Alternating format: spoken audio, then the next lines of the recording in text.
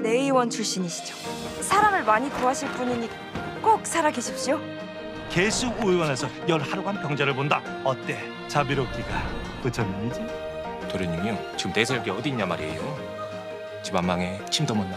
그래도 이 잘난 외모는 어디 안 갔잖아요 이놈은 요 해반닥한 안면으로 의원질 해야 된다 그랬지. 의원님은 꺾는 사람이 아니라 살리는 사람이지 않으십니까?